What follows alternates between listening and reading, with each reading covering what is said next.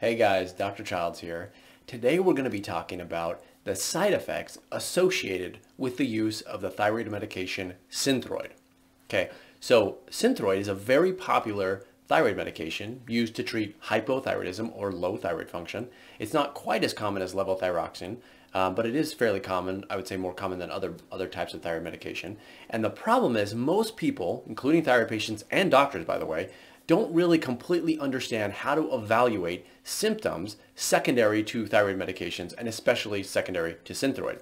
But what I'm about to explain to you here uh, applies to all types of thyroid medication. So even if you're taking levothyroxine or Armour Thyroid or Cytomel or liothyronine or Nature-Throid or whatever you're taking, these principles still apply. And there are three main areas that we need to talk about. We're going to get in that, into that in just a minute, but if you don't know me, I'm Dr. Childs. I'm an internist and I specialize in treating patients with thyroid conditions, helping people with hormone imbalances, and of course helping people lose weight. But today is about Synthroid and about the side effects associated with Synthroid. Now, I kind of mentioned previously that it's it's probably a little more complicated than you think, all right? Because most people, when they think about medications, they think, well, if I take a medication, I have a side effect. If the side effect is bad, I stop taking it. End of story, right? Or at least a lot of people think that way. But what I want to describe to you here um, that kind of mentality doesn't apply to thyroid medications very well. And the reason is because there are three areas that you can have side effects uh, from or related to the thyroid medication that you're using. In this case, we're talking about Synthroid, but again, it applies to all of them. And in many cases, just because you're experiencing side effects doesn't mean you need to stop the medicine, okay? And this is very, very, very important for patients who have thyroid conditions because there are a lot of thyroid medication options, but your doctor may be less likely to prescribe some of them. So you need to be aware that it, the solution may not be to switch medications, but to simply tweak whatever you're taking or how much you're taking. Okay, so this will all make sense as we talk about these things. But let me first uh, start by talking about uh, what you're probably familiar with, and that is, that would be side effects related to the medication itself, right? So just like any other medication, high blood pressure medications, high cholesterol medications, etc., that medication can cause side effects that are undesirable, okay? In the case of thyroid medications, that can happen. And there are one of the most prominent side effects that you should be aware, of here is hair loss. Okay, so just taking Synthroid by itself is enough to cause hair loss, unrelated to the, its impact on thyroid function. Okay, just the medication itself can cause hair loss, which is a symptom, obviously, that's very disturbing for, for women who experience it, and also men, actually, I should say as well. Now, this is going to make a, uh, an appearance here. Hair loss as a symptom is going to make an appearance in all three of these areas as we talk about it. So I want you to keep that in the back of your head. And as I reference it, that's why it has a star here. I'll, I'll give you a little more information about that. So the other, the other point is you need to understand is the medication can cause issues, but also the inactive fillers or dyes or binders found inside the medication itself. Now, it may surprise you to know that Synthroid has a number of these inactive ingredients. So, for instance, it contains lactose monohydrate, which is, as the name suggests, lactose. So if you have a lactose intolerance and you're taking Synthroid, you may be reacting to the lactose component and not to the medication itself.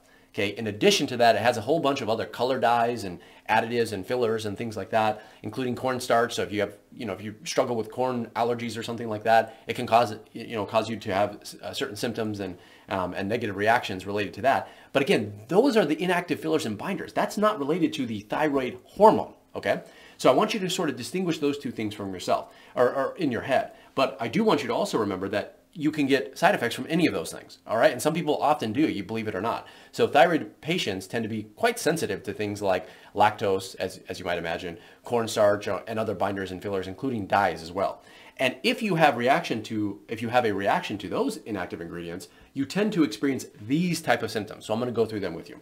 So things like hives, rashes, flushing of the skin, swelling, but also that can be associated with some of the other things we're going to talk about in a minute swelling, intestinal pain. You should not have intestinal pain. That's probably a side effect of something like lactose or the cornstarch itself if your intestines are in pain after you take it. Nausea, vomiting, that's not normal either. Fevers or unexplained fevers, I should say here. Any medication can cause fevers, including Synthroid. Then we have sore joints and or wheezing. Now these are all uh, side effects that you're having a reaction or hypersensitivity-like reaction to these fillers, binders, or I'll include here, dyes. Okay, so all of these things can cause these issues.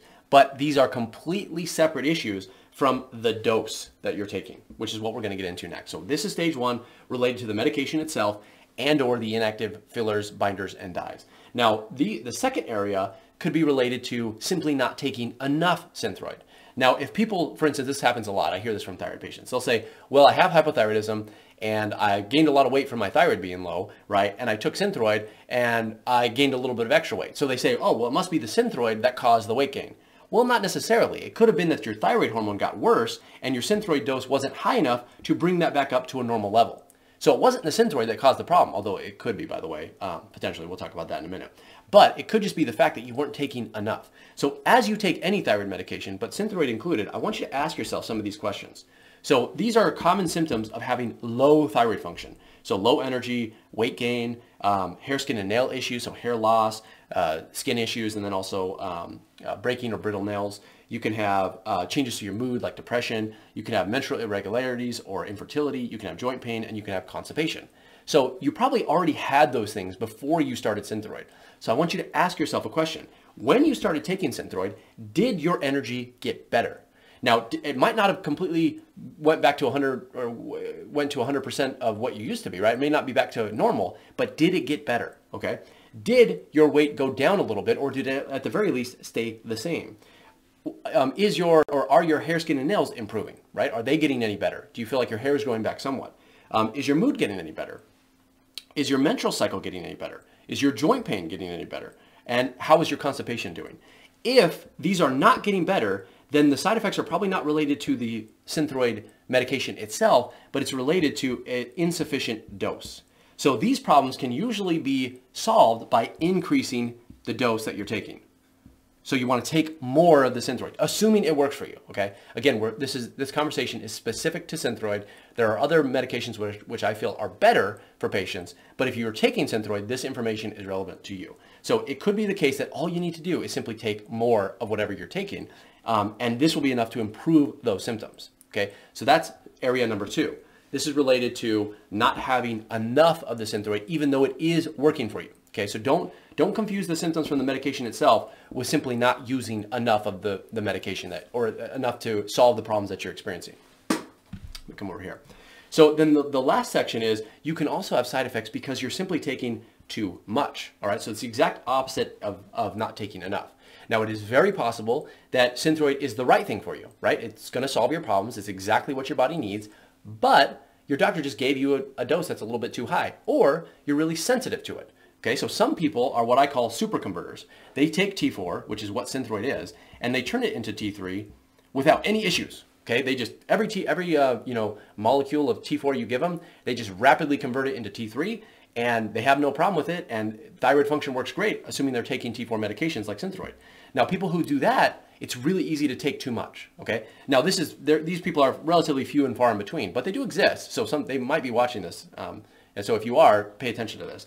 But it's possible that you could simply be taking too much, or you're a super converter, meaning whatever you use, you use it very well. You're very efficient at using the synthroid that your doctor is giving you.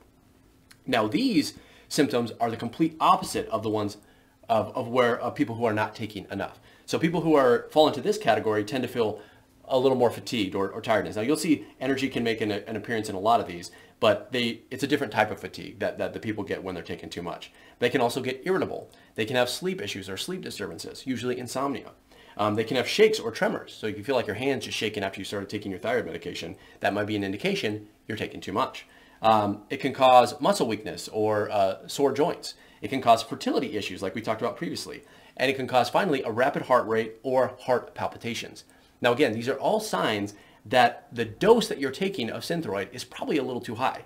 Now this is where it can get a little confusing because it is possible that Synthroid is the right medication for you, but you're not taking too much of it, um, in which case you just have to increase your dose. But it could also be that you're taking too much of it, but you need a different medication as well. This should be like this.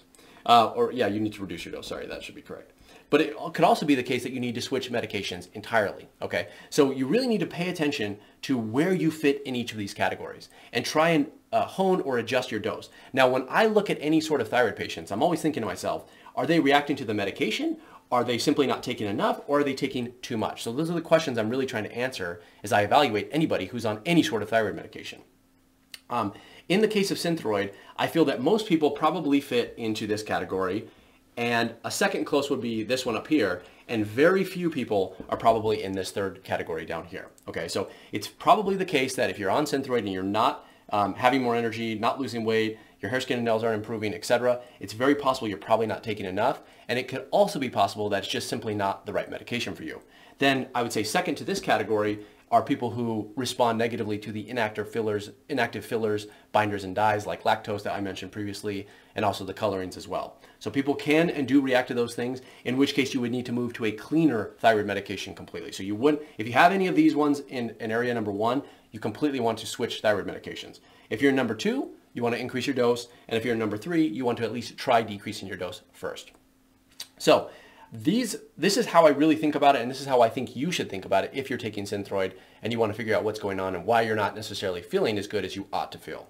Just remember, if you are taking the right dose of thyroid medication and the right type of thyroid medication, your symptoms should be 100% resolved, or at least very close to it, like 95% or so.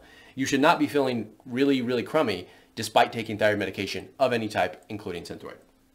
So I know this can be a little bit confusing, but if you have any questions about this or this process or you know maybe where you fit on it, please leave your comments below and I'll do my best to answer them. If you haven't already, make sure you download my free thyroid PDF resources. I have tons of resources all designed to help thyroid patients, designed to help them, help you guys feel better, um, find the right medication, get on the right natural therapies, etc. So make sure you download those if you haven't already. Um, and that's all I have for you guys today. And otherwise, I will see you in the next one.